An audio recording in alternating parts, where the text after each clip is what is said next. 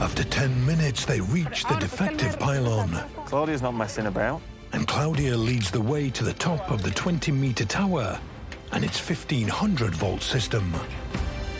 Gracias. Okay. Okay.